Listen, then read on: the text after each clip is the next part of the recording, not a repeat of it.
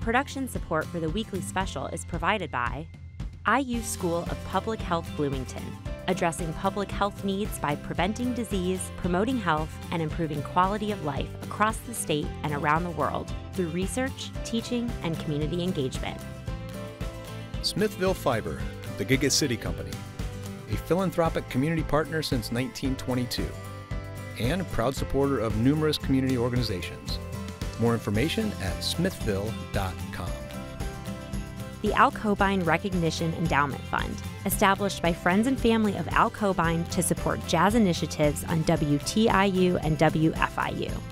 And WTIU members, thank you. The leaves are out in full and the flowers are in bloom. Discover fun new destinations to enjoy the Indiana outdoors. To Mitchell, where Indiana's oldest bow hunters club continues a 50-year-old tradition. Explore Owen County's Cataract Falls, the state's tallest waterfall. Meet Solsberry, Indiana's eclectic historian who is preserving the town's history one model at a time. And welcome Indianapolis's Moxxie, a pop grunge band breaking molds across the Midwest. Stay tuned for great ways to enjoy the spring sunshine. It's all coming up right now on the weekly special.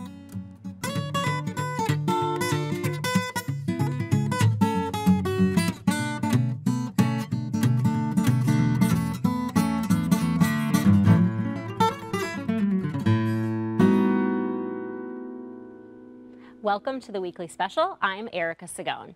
Spring is a wonderful time to discover new hobbies and new destinations, particularly those that preserve great Indiana traditions, like the White River Bowhunters Club. For over 50 years, it has been the place for enthusiasts across the state.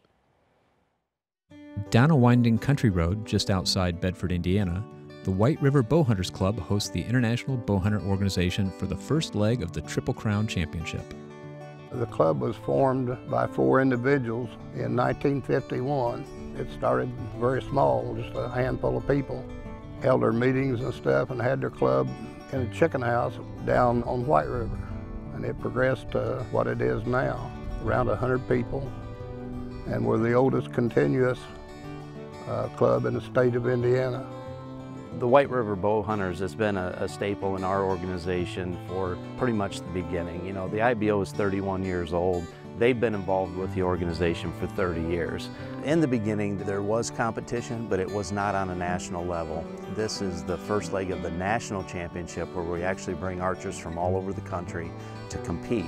And this brings us together for camaraderie and to bring like-minded archers together to help further our cause. If you're a, a competitor in archery or a manufacturer, you know about the event in Bedford. We have people come here from Australia, Italy, all kinds of people from Canada. We have a lot of people come here and compete. We've run up to 1,800 shooters and then all these people have uh, family members and friends they bring with them. So you, you know, you get a couple thousand people easy. The competition here is not only uh, the novice, the very beginner that wants to get involved in 3D, but we also have pros that are the best archers in the world. They all come together and compete at this uh, competition.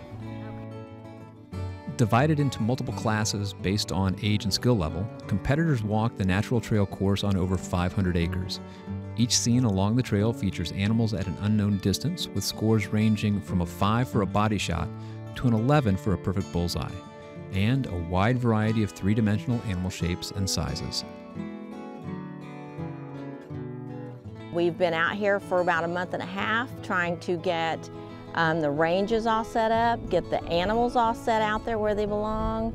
And that's where our club members enjoy coming out and seeing all the people that you see from year to year to year that will remember you as being at the White River Bowhunters Classic Shoot.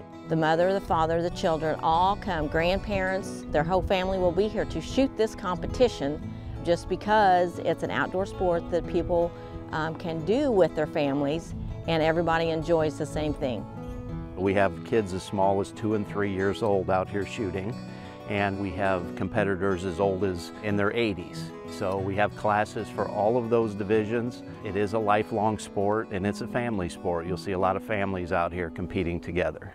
And that's what we want to do. We want to preserve that competition, preserve that heritage, and pass it on to future generations.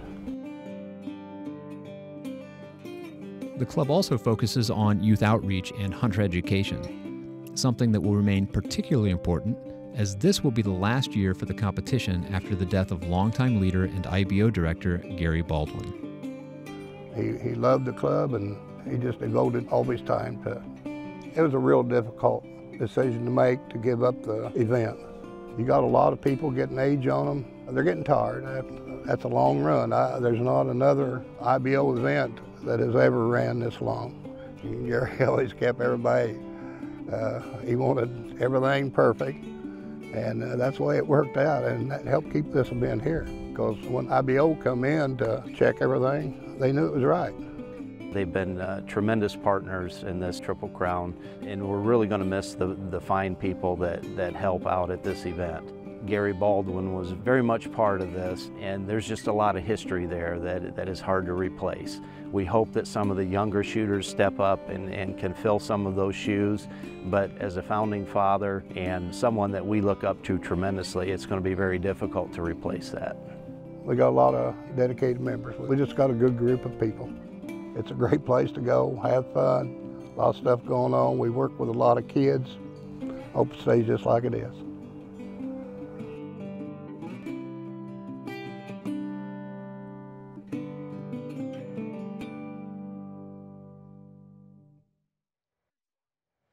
The White River Bow Hunters Club will host their summer open in June in run up to the 51st annual Bow Hunters Jamboree. Learn more at whiteriverbowhunters.com. For those looking for a more leisurely way to enjoy the outdoors, Indiana has some incredible natural wonders you have to see to believe.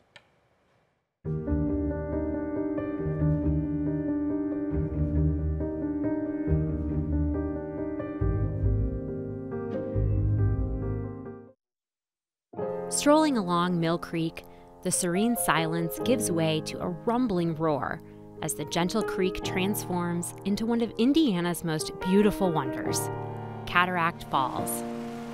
As the creek rolls down a seemingly endless ride of cascades through the upper and lower falls, it descends 86 feet in elevation, making Cataract Falls the largest waterfall in Indiana by volume. The plentiful wildlife of the creek and surrounding areas made Cataract Falls a prime location for the state's earliest timber mills.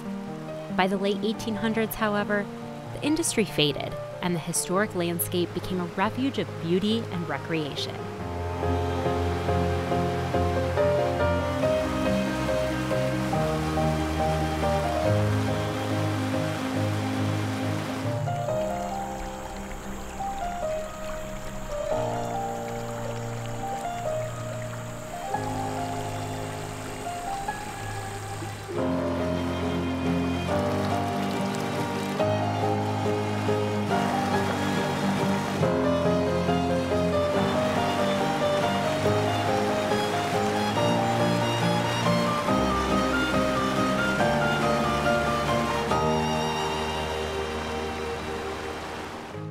For almost 100 years, the area remained privately owned. But by the 1960s, the United States government made concerted efforts to purchase the falls and surrounding area. The construction of Cagles Mill Dam, as well as its accompanying reservoir, further ensured Cataract Falls protection. Today, this incredible Indiana wonder is located within the Lieber State Recreation Area, preserving its beauty for generations to come.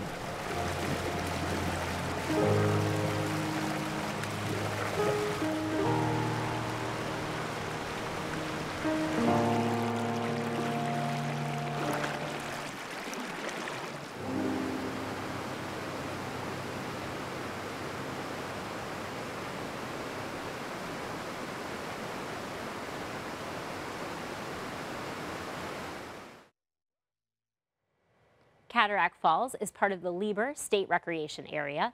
Learn more about how to visit this one-of-a-kind Indiana wonder at in.gov DNR.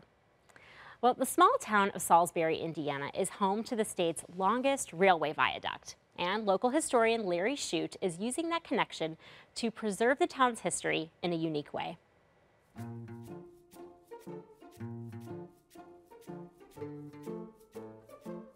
The first time I had citizens come in that live in this community, older people, I mean some young ones, they'd walk right up here to, and look down here, and the first thing they would see was either a place they knew about, familiar with, lived there, but it just, it blew their mind. They couldn't believe they'd seen it. This is Larry Shute's hometown, Solsberry, a tiny rural place in southern Indiana where he's lived his whole life.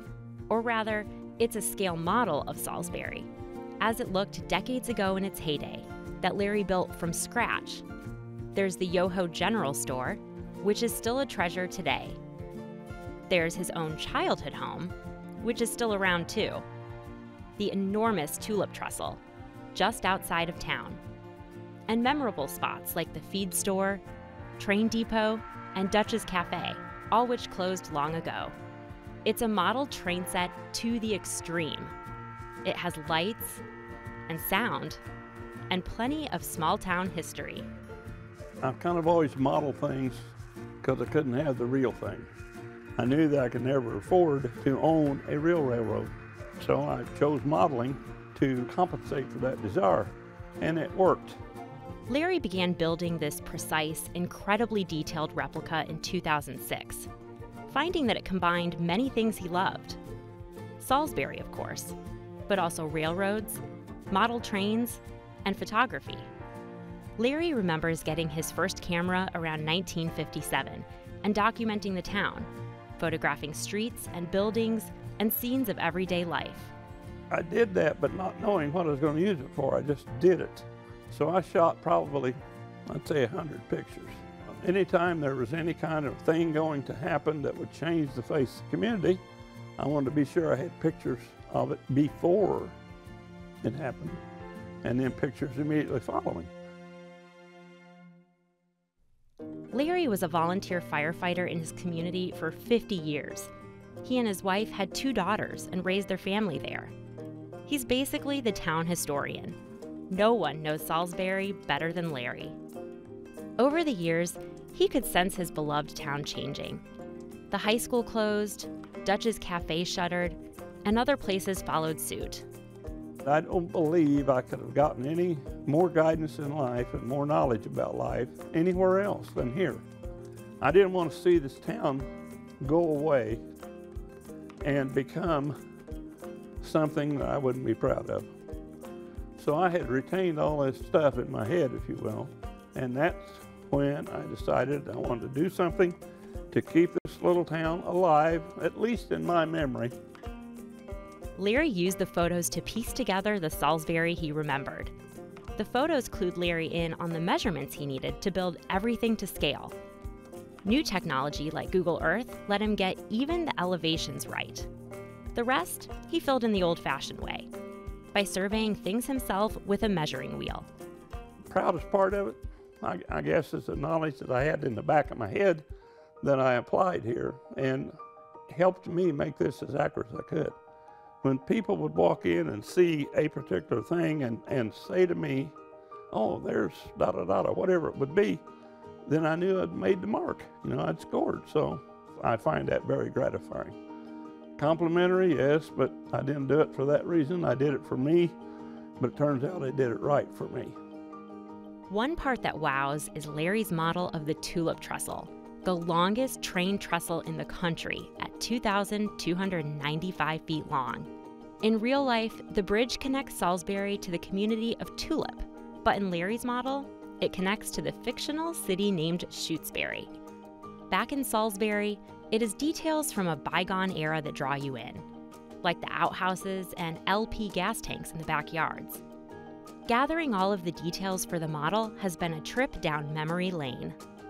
I can remember probably 56, I go to the general store up here and they would have the counters lined with Christmas gifts at Christmas time. The cafe, we ate lunch there. It had the best sandwiches in the world ever. Best pies, best milkshakes, all the simple things of life and probably stuff we shouldn't be eating. But it was great. It was great to be a part of that life and a part of that town at that point in time. For Larry, the replica is a labor of love. Nine years after he started building the model, Larry is still adding to it, which begs the question when will it be finished? Probably when I take my last breath. I, I can't imagine ever completing it because life is what you make it. And I've always tried to be a part of life, a part of the community. And I've always felt like because they, they being this community, gave me so many things that I wanted to give something back.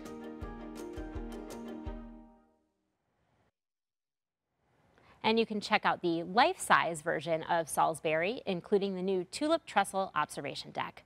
Learn more at visitgc.com. Well, a new Indianapolis band is quickly gaining popularity for their pop grunge sounds. Meet Moxxie.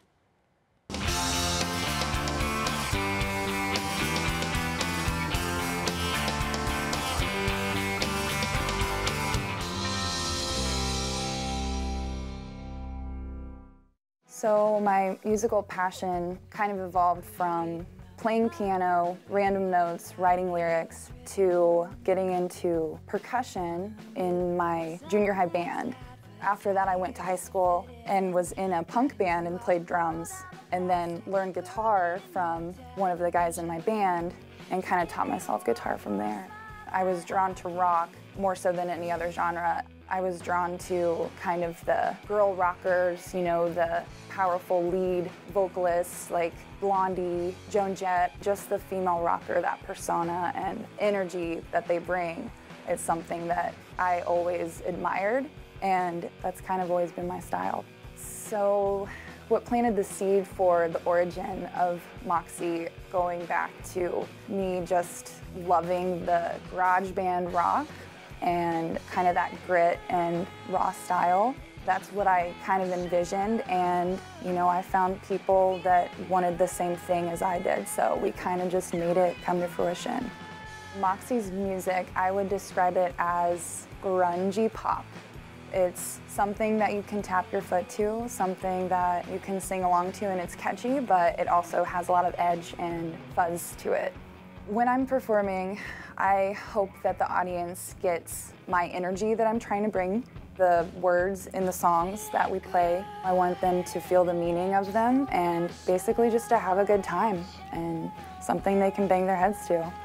Coming from being inspired by Joan Jett, Blondie, the big female rockers of rock and roll, to being something of that and being in front of a band and rocking out and getting people to jump up and down the audience, that's huge. That's a dream come true, literally. I think it's important to have a female-led rock band because it's something that, you know, this day and age, we really need female empowerment. Now more than ever, we need women more in the forefront, and I think that what better way to say it than a female up in the front, banging your head just like the dudes, to be an inspiration to others, especially younger girls, that's something that is really important to me and I hope that I have shown little girls that they can get weird, they can get out of their shell, they can grab a guitar, grab a snare and just start banging on it. As a musician, I would define success as doing something that makes you happy, something that is fulfilling. I'm super sad when I'm not playing. It's just something that makes me happy. It's something that fills me up. It's just a part of me, and I think that it's something that's always going to stick with me. It's my life. And now, welcome Moxxie to the studio.